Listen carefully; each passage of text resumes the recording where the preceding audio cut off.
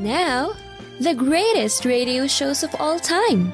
Suspense. The Shadow Node. Washington calling David Harding, counter spy. Classic radio theater. The Great Gildersleeve. Fibber McGee and Molly. Dragnet. Gunsmoke. The Lone Ranger.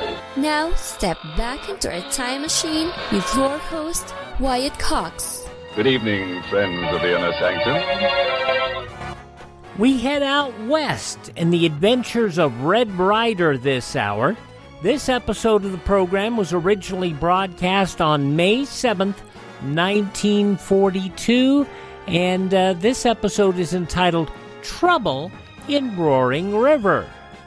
From out of the West comes Red Ryder, America's famous fighting cowboy.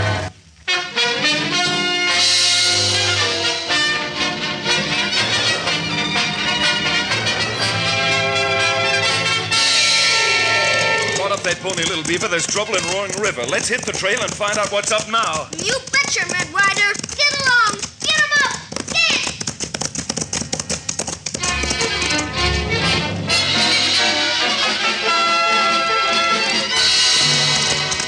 Get going, Thunder. Hit that trail. Come on, Thunder!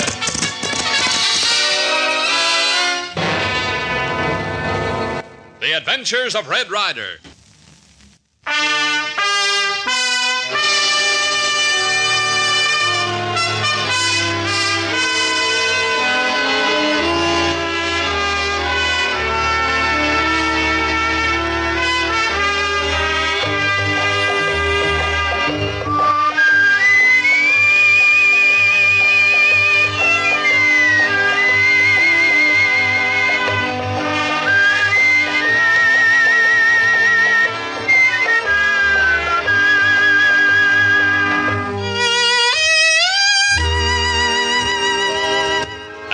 Saved Devil's Hole depositors all the money they had entrusted to Kirby, Red Ryder was getting ready to help the Duchess on spring roundup when he received a letter from old Eli Corbin begging Red to come to his ranch in Roaring River before it was too late.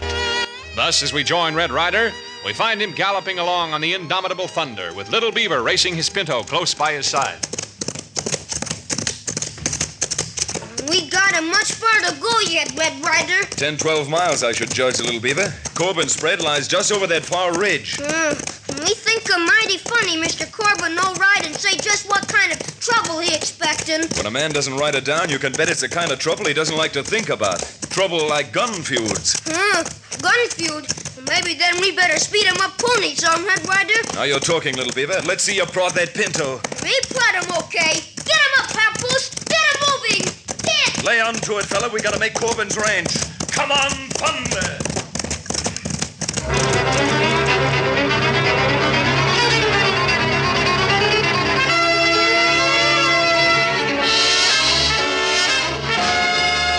Dixie, I'm in no mood for arguing with a gal, even though she is my daughter. Oh, but Dad, Red Ryder should be here soon. Well, of course Red will be here. I sent for him, didn't I?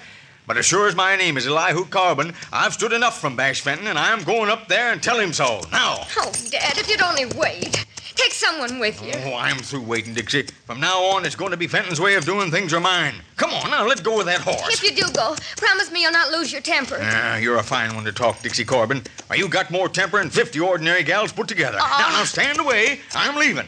And if Ryder comes, why, you make him to home. Get up, Dan. On, get. Oh, Dad. Dad, please be careful.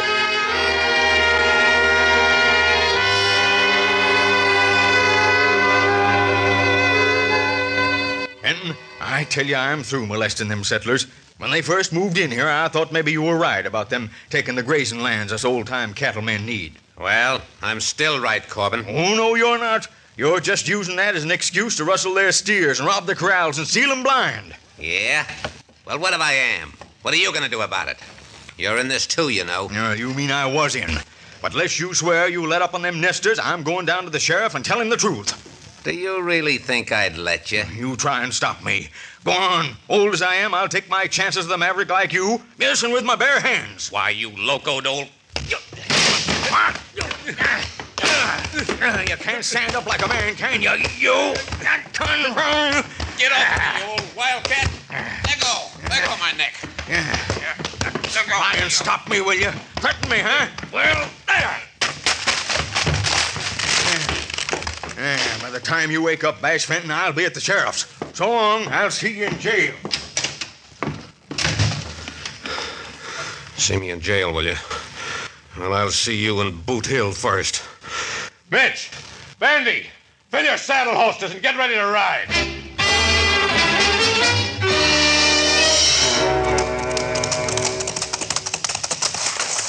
Whoa! Hold it, boys. Oh. This'll be far enough. You think the old coot's really heading for the sheriff's bench? Yeah. Corbin don't change his mind once it's made up. But heading for the sheriff and getting there is two different things. This is a good spot. we can see the road, and he can't see a thing through them rocks. Get your rifles ready. Corbin should be coming along soon on his last ride to town.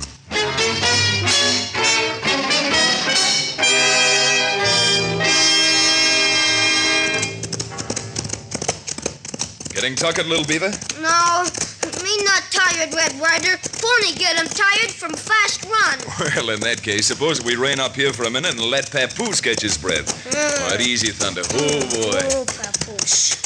Sure get a mighty pretty panorama, this valley from here. Mm, can see maybe 20 miles. Heap nice ranch country. You bet. Maybe one day when you get married, we'll settle up here in Roaring River. Uh, me no get him, squaw. Me fight him brave. Red Ryder, oh, look him across valley. Three men with rifle. Darned if there aren't. And from the looks of them, they're getting ready to dry gulch someone. Uh, you betch him, Dry Gulch. Well, see, one man ride him down and rode all alone. Darned if that doesn't look like old man Corbin. Little Beaver, it is Corbin. And we're at least a good mile away. Rake that pony. We've got to try and break it up. Get him up, Papoose. Get him, Clyde. Get! Stretch him out, old fella. There's a man's life at stake. Come on, Thunder.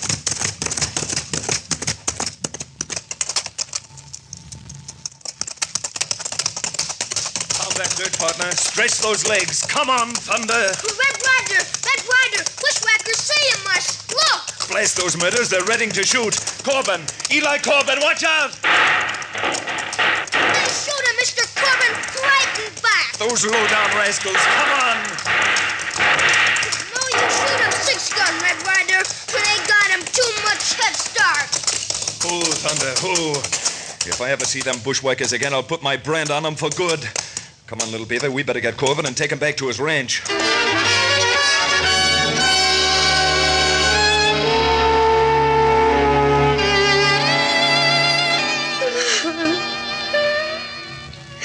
There, now, I know there isn't much to say, Miss Dixie, but crying won't bring your dad back.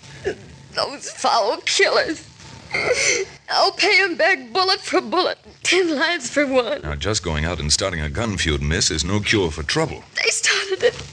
I knew they would. I told Dad. Who started it? You mean you know? Oh, who else could it have been but Bash Fenton and those gun hands of his? Mm, we not know him, Bash Fenton. That'll be enough, little beaver. Fenton's the man who got the ranchers together when the homesteaders moved in. First off, we thought he was right, but later Dad found out Fenton was only using the honest ranchers as a front so he could steal everything the settlers had. That sounds reasonable. I've known critters like Fenton before. But can you prove it? Prove it. We know it. Isn't that enough? I'm afraid not. Judges want evidence, not guesswork. Who said anything about judges? No Corbin ever needed a judge when he knew he was right. And if you think I'm going to sit here and let Fenton do any more killing, you're on the wrong ranch, Mr. Ryder. I never argue, Miss Dixie, especially with a lady. So now, how about you going inside now and resting a bit? Maybe we can talk more later. I will go in now, but but don't you ever think you can talk me out of what I've, I've decided on. And if you're not man enough to help me, then perhaps you better go back where you come from. Huh. That Missy, she got him temple like bonfire. She sure has. And like with a bonfire, if the wind's blowing against her, she's almost certain to get burned. Well, let's go up on the porch, little beaver. I got some tall thinking to do.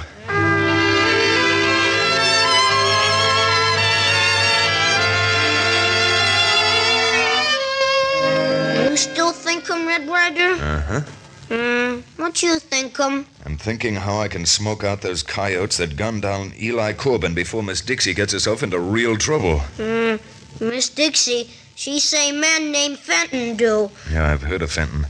He's got a reputation from Abilene to Santa Fe, and none of it's good. But a Jasper like that has generally had too much experience to be caught easy. You catch him plenty other bad men. But maybe you don't know how to tie him down girl, huh? It's about the size of a little bit. Well, looks like we got a visitor. There, riding in through the gate. Red Ryder, him look him like man we chased him this afternoon. Looking like him and proving he is him is where we've got our job. Howdy, mister. Something we can do for you? Why, yes. Miss Corbin home? Yeah, she's home, but she's not seeing anyone right now. I'll be glad to give her your name. Fenton, cowboy. Bash Fenton. Oh. Never seen you on the Corbin spread before. You new here? Sort of. I just rode in today. Got here just when the polecats that dry gulched Mr. Corbin shot him in the back. Oh.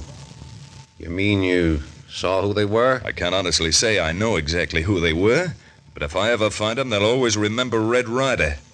Red Ryder, huh? So you're the strawberry blonde with the great reputation. Reputations are something you'd know about, Fenton. And as for the hair, I don't admire it being described as strawberry blonde. Why, some of the prettiest gals I ever knew were strawberry blondes. You got hair uh, women would give a lot for. Yeah, Fenton? Well, I've got eyes, too. That's more important. Eyes and an awful good memory. Something tells me you're trying to say something, Ryder. But I'm not much of a hand at reading between the lines. Supposing I put it this way Eli Corbin was one of my oldest friends. I'm staring, staying here in Roaring River until I find the Jaspers who shot him. And Fenton, I don't expect to stay here very long. No, Red. I don't think you will stay very long. That is, not up and walking around. You may be wrong about that, Bash. I figure I'm perfectly safe walking around just as long as my face is toward you. What happens if I say I don't like your face? I'm an accommodating sort, Fenton. I'd offer you a chance to change my face. That is, if you said you didn't like it. All right, then I am saying it. And I'm saying this, too. We got no room in Roaring River for your kind, so pack up and clean out of here. Not before I. Oh, no, Fenton. Keep your hand right above your belt. Now, come on, get it up. Yeah? Who do you think you're giving orders to, you sidewinding, lily livered? Red Ryder, watch him. All right, Bash, we'll play it your way. Make your draw. That's just what I am doing. Oh. You fool. You think you can get away because you were lucky and hit my gun? I'm not trying to get away, Fenton. I'm right here, waiting. What was that? Red, who did that shooting? Oh, Fenton. And you have the nerve to come here. Red Ryder, turn him around quick. I'll show you. Still got to learn your lesson, huh, Fenton? I never will like that face of yours, so. Go get him, Red Ryder. Spank him good. All right, little beaver. Right straight now. Good work, Red. I wish I'd have done it myself. Well, I'm glad I could save you the effort, Miss Dixie. He's a little more my size. That doesn't stop me. Well, I've got something to stop both of you, and I'll be using it. In that case, Bash, here, take your pop gun. You'll be needing that if you try anything else. Now go on, hit that horse and hightail out of here. Red, what are you doing? You're not going to let Fenton leave here, are you? I'd hate to contaminate the place by keeping him. Well, don't worry about me. I'll be back sooner than you expect. Get up. What sort of a friend are you, Red Ryder? I thought you were a man. Well, never mind. Fenton doesn't scare me. I'll go after him and bring his skin back full of holes. Now hold on, miss. You're not going anyplace. Yes, I am, and I'm going right now. Now, Miss Dixie, I told you I hate to argue with a lady. Ah! now, hold still. Let go of me! Let go of me! you Coward! Hold me here while that murdering Fenton gets away. Take your hands off of me! Now, miss, I'm plumb sorry. I can't oblige you. But your dad was too good a friend of mine to let his daughter stick a head in a noose. Now, there. I hope I didn't hurt you. But even if I did, I saved you from being hurt worse. I don't want your sympathy or your apologies. We Corbins never needed any outside help, and I guess I'll manage to square this account without you. Now, please, Miss Keep quiet. Said and done enough already. The only thing left for you to do is to pack up and get out of here. Go on, did you hear? I said get out! But you're. All right, little beaver. Let's get our things. There are other ways than suicide to even up Corbin's death, and I hope we can do it before what's left of his family is wiped out.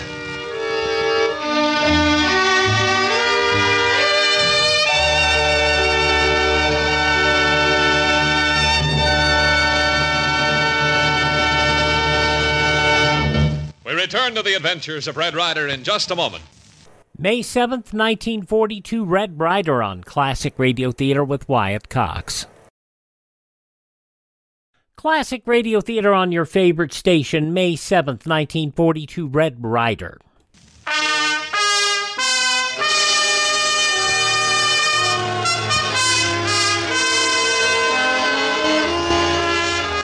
Rejoining Red Ryder and Little Beaver, we find them camping out in Indian Meadows after being ordered off the Corbin Ranch by Corbin's hot headed daughter, Dixie. More bacon, little beaver? No, no, thank you, Red Ryder. Me eat 'em plenty. Hey, now, is that you? Since when did you ever have enough to eat? No have enough. But while we sit here, eat supper, maybe Miss Dixie, she gets herself into trouble. Right you are, little beaver. The thing for us to do is pack up and start riding. No telling what Fenton is up to now.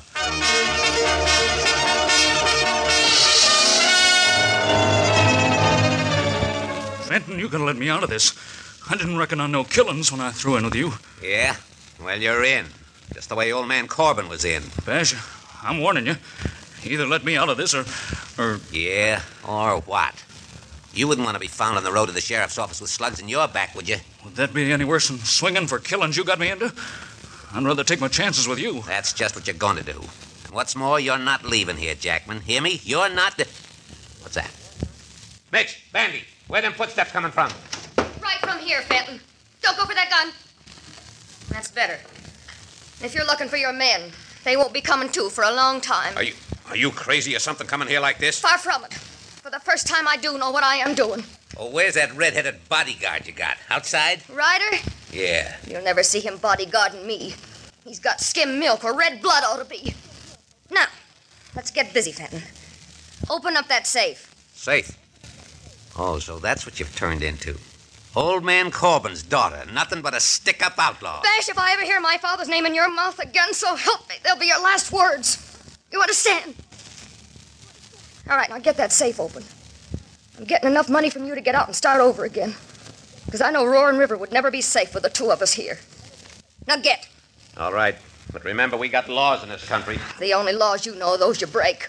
You stand there, Mr. Jackman. Nice and still. Sure, Dixie. Sure. Here you are. Everything that was in the safe. I'd say thank you, Fenton, if I didn't know the money never was yours. Now look, if I was you, I'd stay right there, nice and comfortable, till you're sure I've made my getaway. I still have the feeling, Fenton, that you'll be better off dead. Jackman, come on, don't stand there, you fool. Jackman, are you lighting out after that gal with me? No, Bash. I told you I'm through. Yeah? Well, I was wondering how I could take care of you without having it traced to me, but now I know. Well, well, well, what do you mean, Fenton? What when do the you... folks in town want to know who shot Jackman, I'm telling them Dixie Corbin did it. That's right. I'm saying you were a hero. Tried to save my money, and she shot you for your trouble. Bash! Bash, no! Now, Miss Corbin, let me see you get out of this one.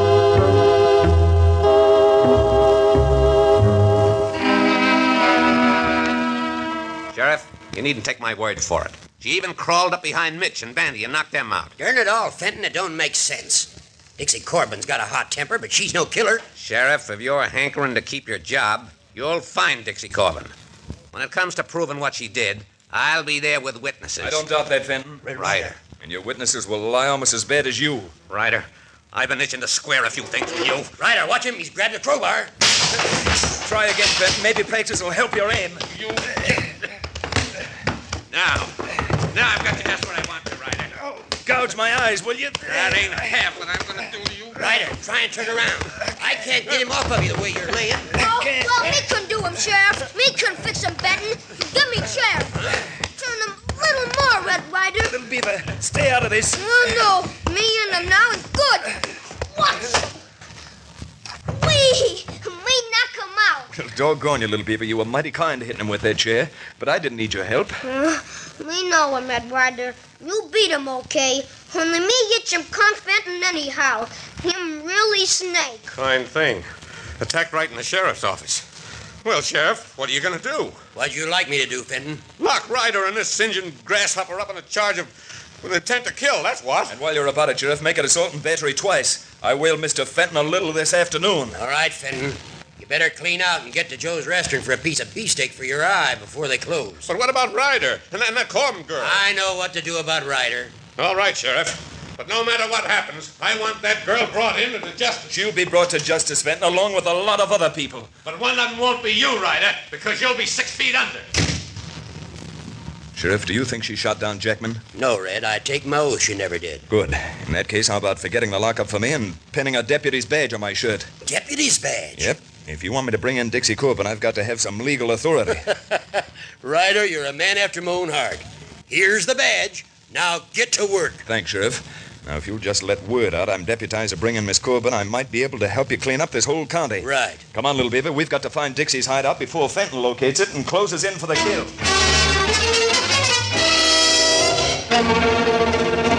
May 7th, 1942, Reed Hadley as Red Ryder on this edition of Classic Radio Theater with Wyatt Cox. The conclusion follows these messages from your favorite radio station.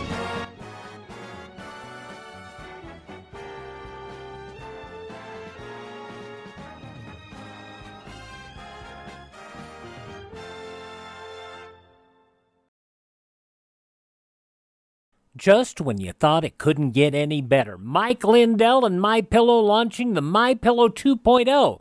Now, when Mike invented My Pillow, it had everything you could want in a pillow.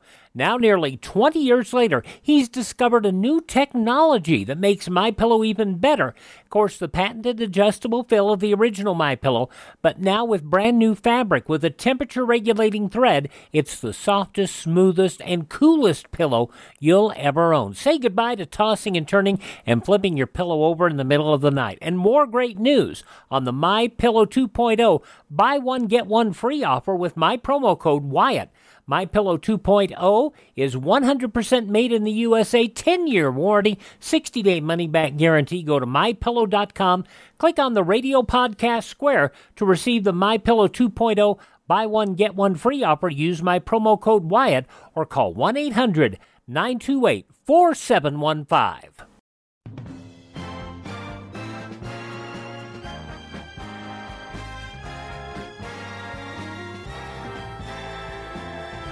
Classic Radio Theater with Wyatt Cox. The conclusion now of The Adventures of Red Ryder, May 7th, 1942. All right, you, Rich. It's me, Miss Dixie. Larry. Oh, what'd you find out in town, Larry? Plenty. You know what? A red-headed cowboy got himself made deputy, and he's out looking for you. Red Ryder. Why, that's smart. Oh, that I'm kind of glad. They give me a chance to pay him back for the way he manhandled me when I wanted to go after Fenton this afternoon. You say the word, miss, and me or any of the other waddies who work for you will fatten Ryder up with lead. No, I don't want that unless I can't help it. But if it means choosing between me be ta- being taken back on that trumped up murder charge or Mr. Ryder, well, you know what to do. Yes, miss. Then do it now, son, because I'm right behind you. Red, where How did you get here? Sorry, miss, this is no social call. I'm here as an officer of the law. Oh, So it'll save being noisy if you and your puncher just unbuckle those belts and drop them to the ground. and you had the nerve to call yourself a friend of my father's. That's better. A little beaver right hurt on that artillery. Me do, um, Red Ryder. Dixie, if I were your brother, know what I'd do? I'd just reach over and pin your ears back. If I had a brother, he'd have yours back and Fenton and Boot Hill, too. Now, look, you've gotten yourself in a mess playing your own hand. Now, let me try and help you. You help me. Why should I? You're wearing that tin badge. I know what you want. You, Dixie. I'm doing what I'm doing because Eli Corbin was, well, he meant almost as much to me as he did to you. If you listen instead of talking, I think I know how we can get you out of this and Fenton where he belongs. Well, keep talking. With you hiding out, Fenton's happy. He can gun you down and nothing could be said about it. But if you were caught and brought into town, he'd be through. How do you figure? Now, look, if we get word to Fenton that I've caught you and I'm bringing you in, he'll try and stop us before we get to town just to save his own hide. And if he does, that's all the chance I want. All right. All right. Hope you know what you're doing. Now you're talking. Little Beaver, Yes, Red Ryder. hit that pinto of yours and head for town. I want Fenton to find out that I'm bringing Miss Dixie in on the Sawmill Road. Uh, me Rider, Red Ryder. And me be back in time to give you plenty help. Good boy. Get him up, Papoose. Get along. Get.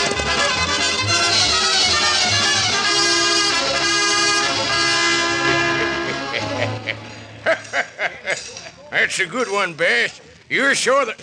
Hey, here comes Red Ryder's Injun Kid. Oh, mister, mister, anybody see him, Sheriff? Sheriff, why? What's the matter? Red Ryder sent me to tell Sheriff him catch him Dixie Corbin. The dickens he did.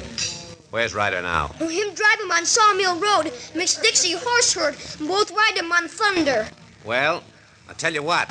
The sheriff went home. He lives about seven miles the other side of town. You can't mm. miss it. He's a big White House.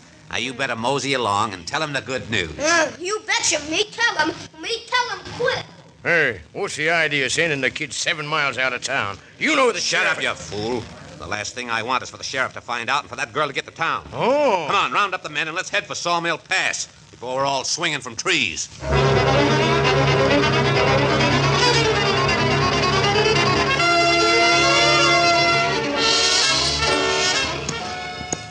Bash, look. That must be him now. Down there. Fell in the gale riding double on a horse. Yeah. Well, the only thing that horse will be carrying back to town is his saddle. Come on, men. Ride him down. All right, you two. Reach. Bash Fenton, what do you want? You and that red-headed catamount. Ryder. Hey, that's Larry Clark riding with her. Where is Ryder? Where is he anyway? Right here, Fenton. Right behind you. Why, you low down. Get him, boys! Larry, get the other two. I'll get Bash. There, try and get away with you. Right. Got enough, Fenton, or do you want more? No, no, no. I've got enough. I quit, Ryder. I'm through. And you'll tell who killed Jackman and Eli Corbin? Sure, sure. I'm licked. I did. All right. I got them both. All right. Let's tie 'em all up and head for town. The jail's been swept out and it's ready. Red, Dixie, this job's not done yet. We've got to lock 'em up and turn the money you took over to the state. Get my horse, little beaver. We've got to ride.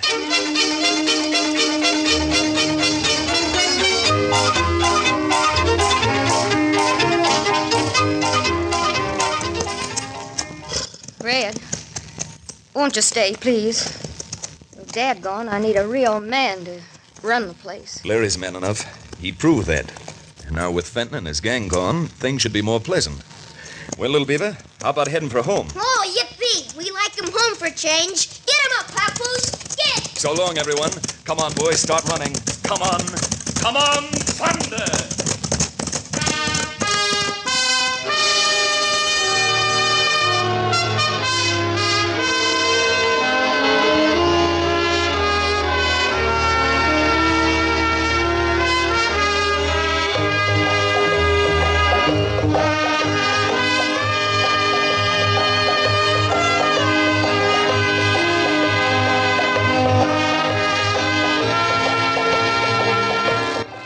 Nice and peaceful like again at the Corbin Ranch, and it wasn't an easy assignment for Red Ryder and Little Beaver to get the goods on Bash Fenton and at the same time tame little Dixie Corbin. But now, with everything under control, Red Ryder and Little Beaver ride for Painted Valley Ranch, where they find the Duchess and her neighbor accusing each other of rustling cattle. So listen again next time for Red Ryder, America's famous fighting cowboy. May 7th, 1942, Red Ryder on Classic Radio Theater with Wyatt Cox. Now on Classic Radio Theater, we start a brand new Yours Truly Johnny Dollar story. This five part story, part one tonight, The Silver Blue Matter, originally broadcast May 7th, 1956. From Hollywood, it's time now for. Johnny Dollar. Ralph Dean, Johnny, mono guarantee. Oh, hiya, Ralph. How are things? Rough. My wife could kill me, Johnny. For the insurance? No, just for kicks, because she's mad, because she wanted a mink coat. In short, she's a woman. I couldn't buy her a mink. I don't make that kind of money. You know how it is in the insurance game. Oh, sure, I know, Ralph. You're down to your last yetch. So what happens yesterday? I lose 80 mink coats, silver blue, worth a $100,000. Gone, snatched, disappeared. Warehouse robbery? Check. Bandley Furriers out in Los Angeles. My wife's about to blow her stack. She says if I can't afford one fur coat for her, then how come I can pay for 80 of them that I haven't even got? How do you reason with a woman, Johnny? I never try. Usually I just send flowers. I've already done that. She ran them through the garbage disposer. So now what do I do? Buy some more flowers.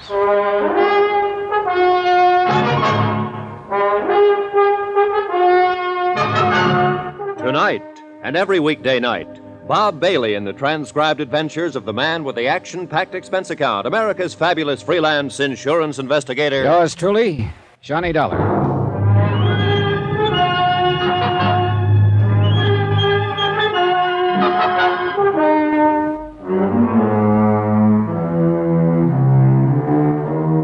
From Special Investigator Johnny Dollar to the Home Office Mono Guarantee Insurance Company, 4312 Spring Street, Hartford, Connecticut. The following is an accounting of expenditures during my investigation of the Silver Blue matter. Item one $152.40, telephone and incidentals and transportation to Los Angeles. I called the Mono Guarantee agent out there before I left and got a brief rundown on the case. Among other things, I learned that a man I'd known and worked with before, Detective Lieutenant Raymond Garcia, had been put in charge.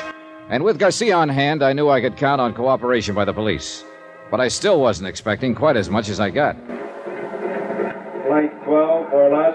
Salt Lake, Minneapolis, and Chicago now loading. at I knocked over the fur joint myself, Johnny. Garcia. Only way we get to see you. How have you been? Overworked, underpaid, frustrated, disillusioned, unappreciated. In other words, fine. Got your luggage yet? It's coming right there. Good. We ought to get moving. I've got a squad car outside. What's all the rush? We've got a guy downtown in the hospital I figured you'd want to talk to. Well, he'll wait, won't he? He'd probably like to, if he had any choice.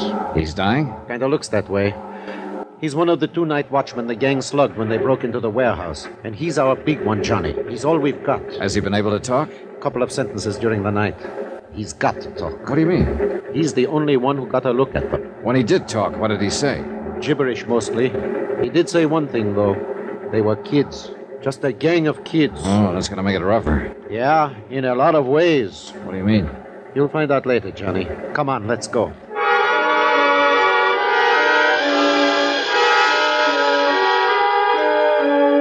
We took the freeway into town with the accelerator floorboarded and the siren screaming. Racing against time and against dying. Weaving in and out through the four wheel madness that Los Angeles calls traffic. And then the other side of the coin the solemn quiet of hospital corridors, the calm voices of the nurses, and the blank hardness of sterile white walls.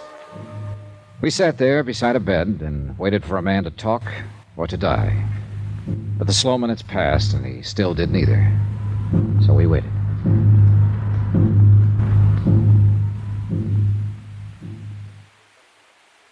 Guess that shot the doctor gave him is not going to have any effect. Apparently not. It's a crazy world, Johnny. No, just the people in it. I mean, yesterday, we'd never even heard of this guy. I still don't know his name. And 24 hours later, here we are. A couple of strangers sitting around watching him die. Hmm, it's here on his chart at the head of the bed. Albert Chrisman. Strangers. Not even family or friends. He didn't have any family or friends. He lived alone in a furnished room. Worked alone, too, except for one partner. So, a gang of punks jump him and bust his head open. I'm a bad cop, Johnny. I, I get sentimental about things like this. How'd they work it, Garcia? Uh, It's a warehouse district. The streets are practically deserted at night. A police prowl car checks the street once about every 40 minutes, and they hit at 1.10 a.m., three minutes after the police had passed. Sounds professional. No, just a smart bunch of kids. The only fur they seemed to know was mink. They passed up a dozen or so chinchillas worth twice as much. How'd they get in? I don't know. Chrisman hasn't been able to tell us. They must have tricked him into opening the door. What about Chrisman's partner? He was making his rounds. They slipped up behind him, slugged him. He didn't see them. He didn't know what hit him.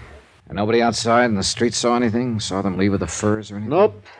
Or if they did, they're not saying anything. Oh, it's a rough one, Johnny. We haven't got a thing to go on. Except Chrisman here. The shape he's in, that's only a straw. If he'd recognized any of them, if he lives long enough to identify. Them, at least the poor devil can groan. I don't know. I think he's closer to being conscious right now than he's been in the last hour. Maybe you're right. Chrisman? Order? He wants a drink. Here you go. That enough? You want some more? Who are you? This is Johnny Dollar, insurance investigator from Hartford. I'm Lieutenant Garcia, L.A. Police. Warehouse. Kids. It's all right now. You're in the hospital now. It's going to be all right. My head. Do you feel like answering a few questions, Mr. Chrisman? It won't take long. Those kids, how did they get in? Telegram. Telegram? He showed me the telegram through the window. Yes. When I opened the door, one of them hit me. I. Did you get a look at the boy who showed you the telegram? Yes. I, I saw him. Yeah? 18, 19. What did he look like? Five, nine, ten. Dark skin, black hair, Uh-huh. How, how was he dressed? dark jacket. Hard to think. Any scars? Anything unusual about him? No, Are you sure? Sure. Would you recognize him if you saw him again? Yes. Any of the others? No, the only one. I, there was a mark on his arm. What kind of a mark? My, What kind of a mark on his arm? hurts too bad. I, I,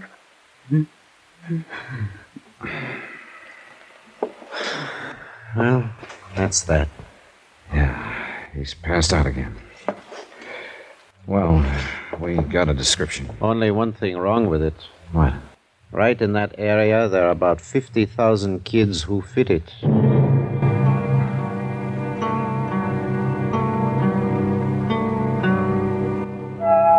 I talked with Mr. Banley, owner of the Furs. Then Garcia and I went down to the warehouse.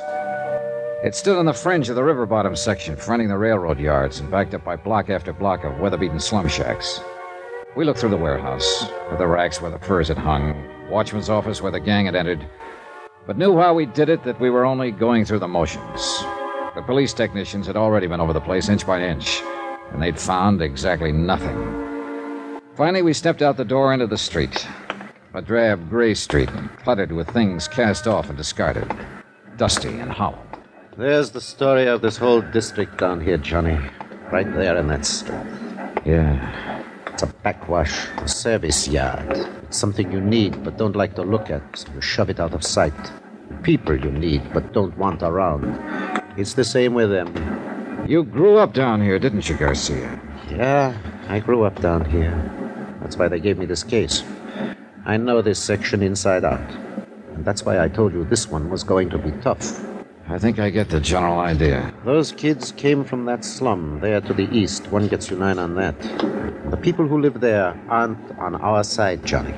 If they do know anything, they won't talk, is that it? They wouldn't tell a cop the time of day. I don't mean they're criminals. Most of them aren't. It's just that they always put themselves on the other side. What about juvenile gangs? Do they operate around oh, here? Oh, dozens of them. And there's another thing. A few of these gangs are pretty rough, and people who might talk don't because they're scared to. Oh, it's a great setup, Johnny. A fine place to look for a hundred grand in furs. You know, I've been thinking about the fact that they knew exactly the time to hit.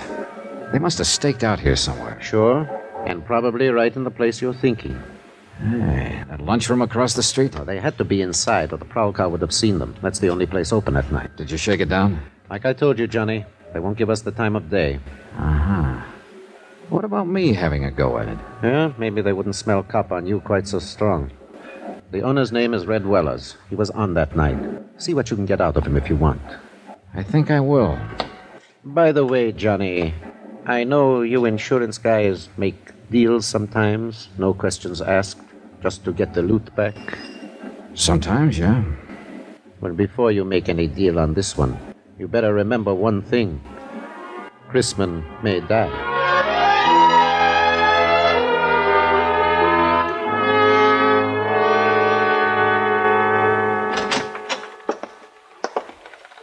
What do you say, Mac? Save your money. What do you want? Coffee? Yeah, I guess so. How's business? Bucket two a day. Father in the hole. Want cream? No, I'll drink it black. Want a sinker with it? No, thanks. Are you Red Willers? So that's it. What do you mean?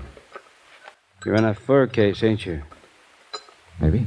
I thought you was the same one, but I couldn't be sure seeing you across the street. You come up with that cop Garcia a while ago, didn't you? That's right. I'm an insurance investigator. Well, you come to the wrong address, mister. I don't know nothing about nothing. Who was in the lunchroom here just before the robbery? I don't remember. Any young kids here? No, it was all old men with long beards. I see. Ten cents for the coffee. Yeah, they got you real scared, haven't they? Haven't they? I don't know any days. All right, look. You know Chrisman, the watchman over at the warehouse. He comes in. He didn't know any theys either. What about it? Nothing. Except he's dying. I'm at the Wilkins Hotel if you change your mind. Room 312, Johnny Dollar. Sorry, I don't see no use of me dying, too. Follow me, Mac?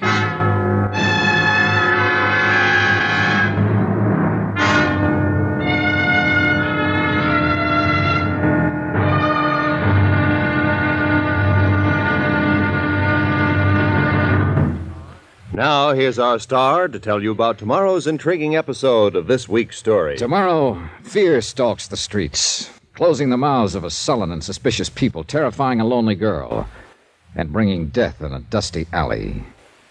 Join us, won't you? Yours truly, Johnny Dollar.